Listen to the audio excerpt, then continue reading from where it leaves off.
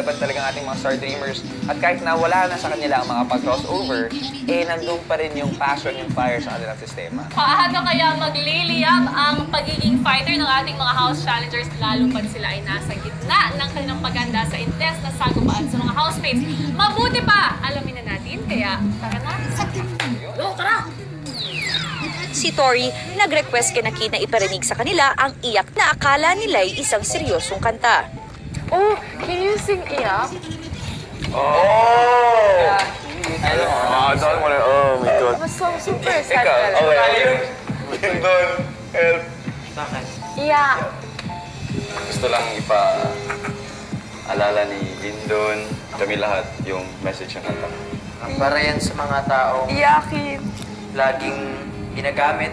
Para sa mga tao, maraming inaanan.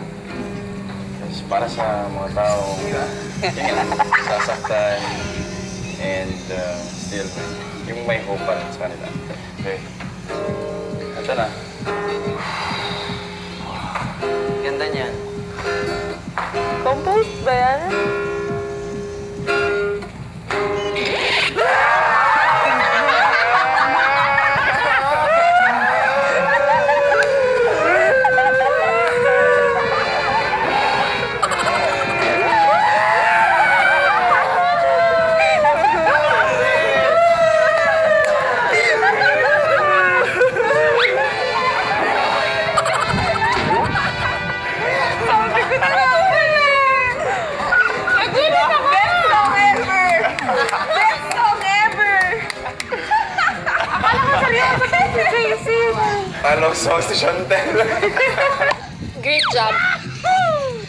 Magkulitan, inensayo na ng House Challengers ang kanilang original song para sa Paapit Show at sina Tori at Joaquim mukhang di nagkaintindihan.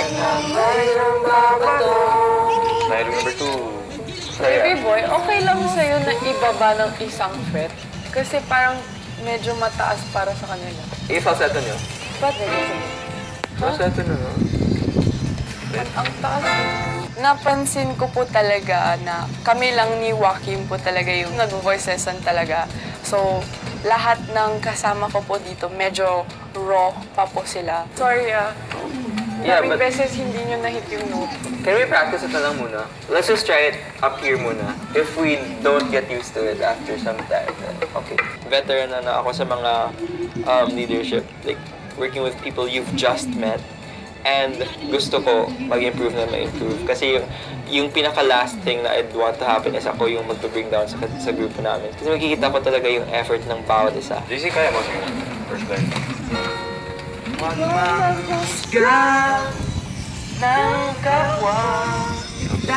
Tapos, kailangan gawin ng tama. Mas, mas, wait, what's the main problem, House? It's too high for them. No, no, wait, don't, don't speak for them. pag naririnig ko eh. I can hear everyone. I'm just saying, kasi wala ka dito eh.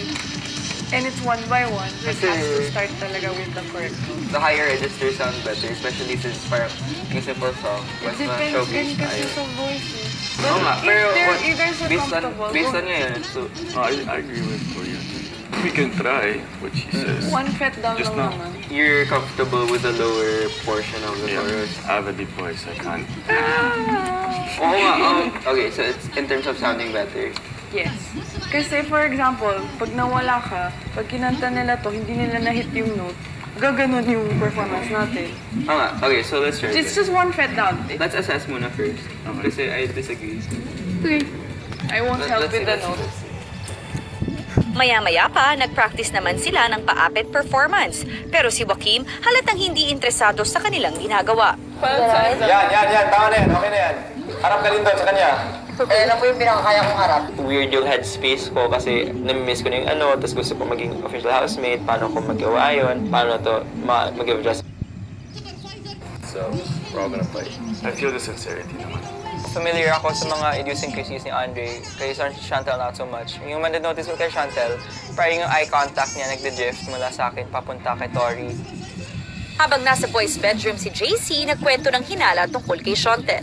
nakita ko na sa mukha niya na may balak siya. Shoot. Hmm? Di ba? Sino? Kita mo? I knew siya. Yun po yung iniisip ko na wag muna magtiwala kay na Chantel at kay, at kay Andre. Focus pa din tayo sa sa atin. Ano yan? Parang may something, may agenda, may strategy. Actually, ako din nakita ko siya. Hindi pa din ako fully convinced na genuine talaga sila. Kasi in the first place, I never trust anyone, especially here. So yun, si JC at ako talaga nagsabi, uy, huwag tayo maging kampante. Don't trust them.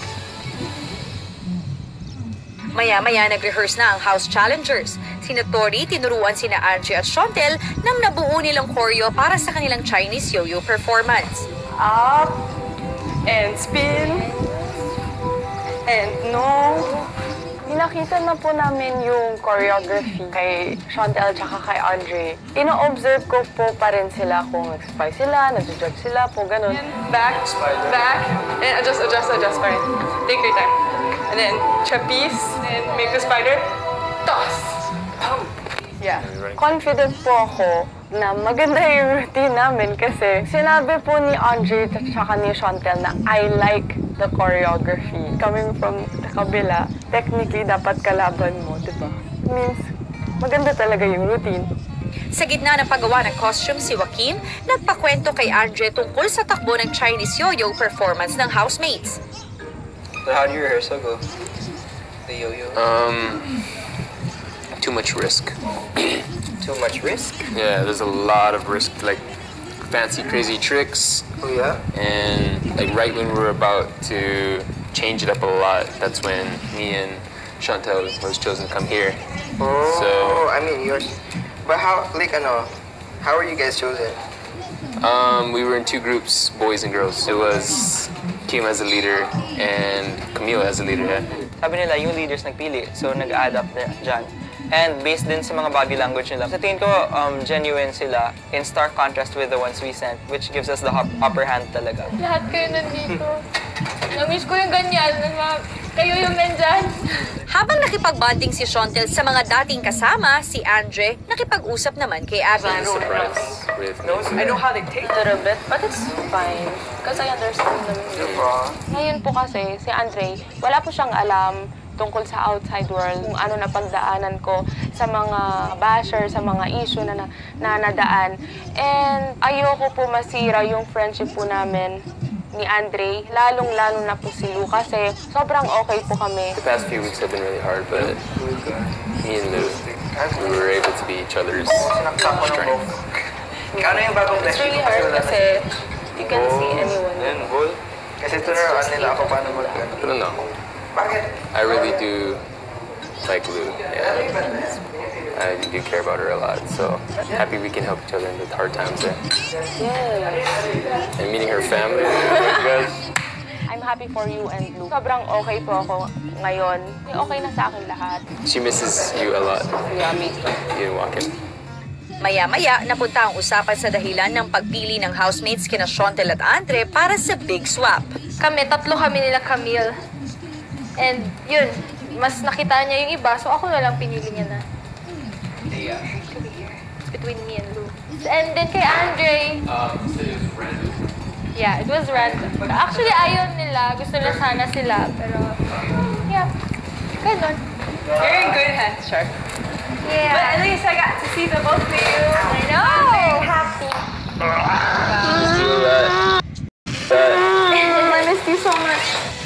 Pagpasok ng bedroom, nagkwentuhan si Tori at Abby ng mga obserbasyon nila kina Andre at Shontel. Ang funny. Bakit? Nung mga nangyayari. Nagulat ka si Andre yung... Oo naman. Sabi ko, Hindi ka pa rin. hindi naman. Ang unang naisip ko, ba't siya? Eh, galing siya. Sabi ko, Oo, ako din. Sabi ko, isa pa, kapit nila. Di ba siya yung magko-compose ng mga kanta? Sabi ko, ang weird. Hindi nagsasabi ng totoo si Ate. Matagal ko na siya nakakasama doon. And Si Shontel, ko na kasi yung mukha niya pag nagsisinungaling siya. Hi na. Her so Char. Pero, feeling ko naman, if ever na sabotage nga talaga yung plan nila sa atin, okay lang. Least damage kasi hindi ko talaga binibigay yung important roles sa kanila. Kahit mag-mess up sila, okay lang. hindi naman sa perfect, pero medyo maganda yung plano natin. Tama talaga yung decision natin.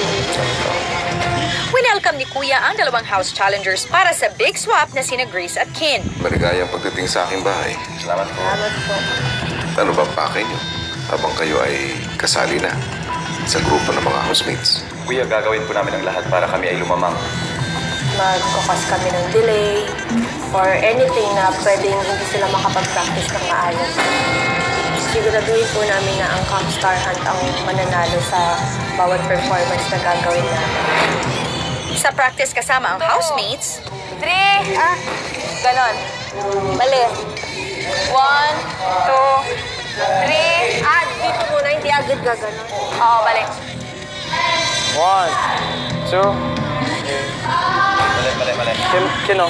Eh, eh, last, last, last, last. Ito, ito, ito, ito, ito, ito, ito. Two, three. Oy! Kin. may sa katuparan nga kaya ni na Grace at Kin ang kanilang balak o makahalata ba ang housemates? Abangan ang buong kwento mamaya sa PBB 8. Samantala sa Camp Star Hunt, sumabak na sa ensayo ng Chinese Yo-Yo ang house challengers kasama sina Angie at Shontel. Slide.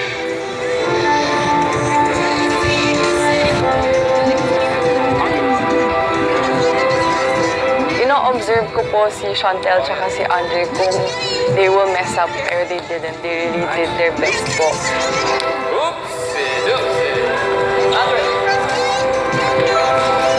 Nahihirapan po kami. Sila yung mag adjust Tapos minsan hindi nila alam yung mga tricks na alam namin. This is the cleanest first rehearsal we had today.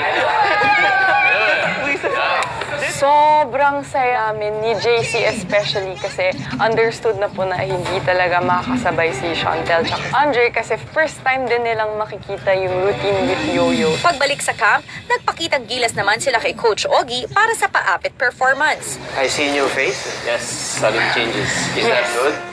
Yeah. It's a challenge, but we're embracing it. So Ganun ba? Ikaw, okay ka? Okay naman po kung kailangan gawin. Okay, I wanna see.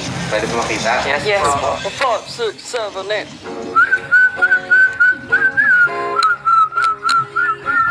Nung nandito po si Sir Ogie, madami po siyang pinoint out at sinabi din po niya na out of 10, 2 lang po kami. Madami po siyang sinabi na kailangan namin magbaguhin. Huwag maghusga ng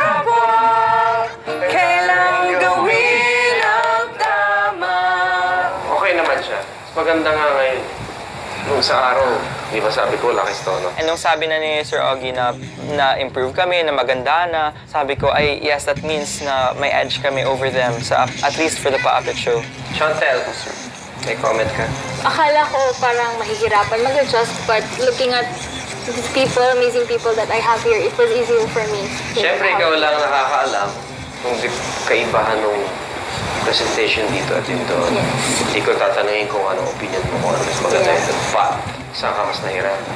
Sa kabila po kasi there are a lot going on there. And then dito, it's like they know what they're doing and then lahat po talagang iisa yung sa performance. Yun po ang napansin ko. Pagkatapos ng kanilang session with Coach Ogie, pinagpatuloy ng House Challengers ang paggawa ng costumes at props para sa paapit show hanggang sa kinailangan ng mag kailangan ng magpaalam ni na Andre at Shontel para bumalik sa bahay ni Kuya. Chantel, so Okay. Bye, guys. Pag-alis ng dalawa, What do you think, guys? I think they're serious. I don't think they're messing with us. Same. Kasi yung nakasalalay is nomination. Sinabi sa akin ni Chantel, Okay, pero paano? she's not lying. Nag-e-effort po sila para makuha yung steps kahit hindi namin sila pinupush. So, napabilib po ako dun. I don't think they're spies now. Let's just not trust them. ilang sandali mula nang umalis sina Andre at Shontel, bumalik naman sina Kin at Grace matapos umpisahan ang kanilang misyon sa bahay ni Kuya. Ako from morning to evening, nilagay ko lahat sa isip ko kung ano ang pwedeng sabihin sa inyo. Sige, go. Yung plano namin na hindi magpahalata, like gusto namin ipa-feel sa kanila na we are into them. Wow! Hindi talaga nilang nahalata na we were house challengers. Wow! And yung sinabi ko na maniniwala talaga si Kim sa akin, I did it. I did it. Walang bulungan na nangyari. Wala. Kung naghinala sila. Mamasid ako. Ano yung sabi niyo kung bakit pinili kami? Ako, wala ko siya to. Sabi ko kasi hindi nagkakasundo sa idea. Yun ang sinabi ko. tama. Kasi Oo. si Lindon din ang sinabi ko. Swear! Sakto tayo. Yung mga na-observe ko doon sa kanila, yung paapet nila, hindi ganun ka, ano. Nalo tayo, guys. Huwag tayong maging Huwag kampante. kampante, pero Sige. malaki yung chance na. Pero Hindi talaga sila, ano, sa paapet, more on kwela sila eh. Ang ginamit nilang mga song, pinaghalo-halo yung lahat ng kanta ni Chantel. Parang sinasabi ni Chantal kanina. Saan ka mas nahirapan? Sa kabila po kasi there are a lot going on there. Kawawa naman si Tapos siya pa pinili. Nagulat nga ako kay Camille eh. Ba't niya pinili si Chantel? Yung sinabi ko before, di ba, nandito pa ako, alam ko na si Kim ganito, ganyan. Hindi, hindi naman sa sinisiraan ko, pero hula ko lang kasi I, I know him so well, di ba? Kung ano yung away nila ni Camille dito. Ganun ang away nila doon. Ni Kim at ni? Camille. Ba't sila nag-away na naman? Kasi si Kim, ini-execute niya sa team niya yung mahirap na execution. Kahit ako, stress ang mukha ko doon, promise. Kasi stress ako kasi ako naghabol. Double effort ako. Pinapressure na ako ni Kim. Ganito. Nainis ako. Pero tinaasan ko na lang pasensya ko. Dinasa- nasabi ko, doon sa camp talaga may teamwork. Sa mga housemates, wala talaga. Sabi ko, walang teamwork.